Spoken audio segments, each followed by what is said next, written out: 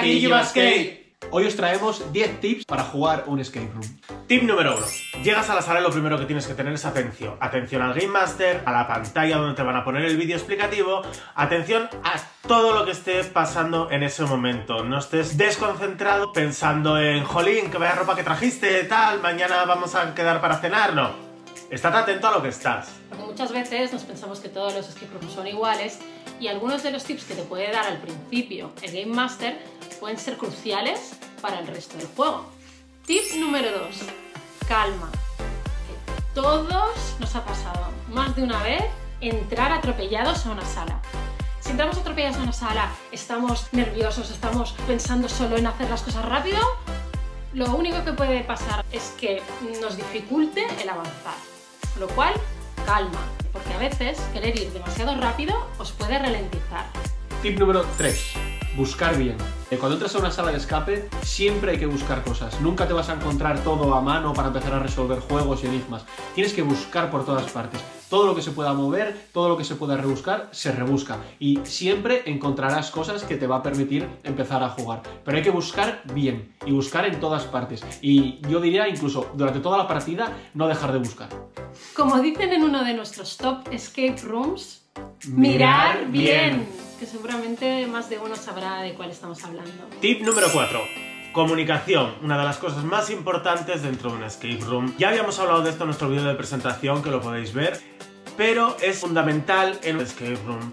Tenéis que comunicaros. Tú no puedes ir a tu bola porque todo el equipo se va, se va a tomar por culo. Tú no puedes ir a tu bola porque el equipo entero se va a retrasar. Tienes que comunicar todo a tus compañeros que te vayas encontrando. Una piedra suelta, una libreta en el suelo, números, letras, colores, comunicación, lo más importante. Tip número 5. Organizar bien los objetos.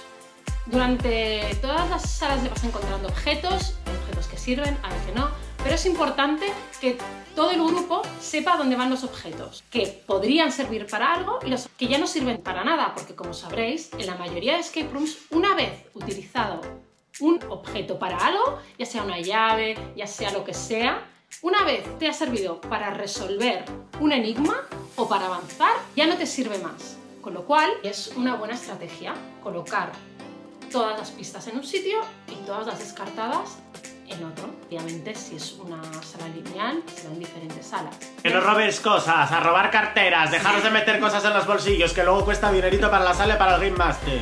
Muy importante, encontráis una llave, no poneros la llave en el bolsillo. Ni el candado, ni la muñeca, ni la estantería, ni nada. No salgáis con cosas de la sala, por favor, porque luego vamos los demás a jugar y no hay. Y, no hay.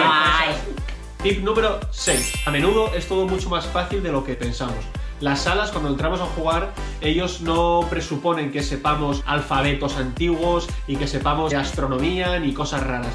O sea, cuando entramos a jugar, ellos suponen que todo lo que podemos resolver, tenemos la información necesaria para resolverlo allí. Y todo es mucho más fácil siempre que lo que nosotros nos creemos. A veces estás empeñado en que una cosa es súper retorcida y cuando te das cuenta de cómo se resuelve, te sientes idiota. Porque dices, joder, con lo fácil que era, llevo aquí 20 minutos pensando que dándole la vuelta, haciendo el y viéndolo al revés, lo voy a entender. Que no, que es todo mucho más sencillo. También es verdad que es difícil a veces cuando estás aturullado pensar, pero tienes que relajarte y pensar que todo es más fácil. Y de hecho, cuando acabas de jugar una sala y vuelves y te explican juegos o lo entiendes o lo miras otra vez, te das cuenta del tiempo que has perdido en regresándote cuando era todo mucho más fácil.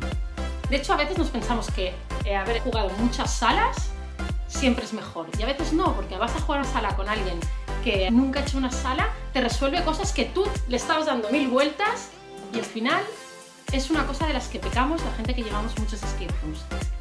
Es más sencillo de lo que parece. De hecho, ahora yo resuelvo los huevos Kinder. Antes no necesitaba el papelito que te pone del huevo Kinder para resolver la figura y ahora sí. Pienso que es lo que no es. Total, no os compliquéis, que las soluciones están a la vista siempre. Tip número 7. Distribuir tareas. Fundamental. No podéis ir todos a una. Hay un botón rojo, no podéis pulsarlo todos porque solo le entra el dedo a uno. Es de cajón. Distribuiros las tareas. Si hay una pizarra con unos números, que vaya a uno. Si hay un cajón para abrir, que vaya a otro. Y si hay una mesa que hay que darle la vuelta, que vaya a otro. Distribuiros, porque el tiempo Da igual si sois dos que si sois siete, el tiempo es el mismo y las salas están pensadas para que todo el mundo tenga una función. Si sois menos, vais a tener muchas más funciones que hacer que si sois más, obviamente. Por eso es importante la distribución de tareas. Entrar en una sala, mirar y distribuirlos. Tip número 8. Saber identificar los pasos. ¿Qué quiere decir? Que a veces nos atrapamos, no sabemos por dónde seguir y tenemos que aprender a identificar qué es lo que no nos deja avanzar. A veces es tan simple que igual para los que llevamos más escape rooms es muy simple, pero para gente igual que lleva muy poquitos no es tan obvio. Una cosa tan simple como un candado. Si de repente te encuentras un candado con números, pues sabes que tienes que buscar números. Si te encuentras un candado con colores, eh, colores. Si te encuentras un candado de posiciones, pues sabes que tienes que buscar algo que te indique posiciones. O a veces, en una sala que no hay candados, son otras pistas que te dan el saber qué es lo que te está impidiendo avanzar. En vez de bloquearte, aprender a identificar las cosas que te pueden ayudar a avanzar. Tip número 9. Dejarse llevar por el Game Master. Hay que ser conscientes de que durante toda la partida hay una persona encargada de que todo vaya bien de que vaya todo el mundo en tiempo, de que se esté haciendo lo que hay que hacer. Entonces no hace falta estar agobiándose todo el rato o pidiendo pistas o quedan 10 minutos, madre mía, no sé qué. No, vosotros jugar, disfrutar y dejaros llevar por el Game Master. Para eso está ahí. Para que vayáis en tiempo, para que lleguéis más o menos al final, salgáis luego o no y para controlar la partida.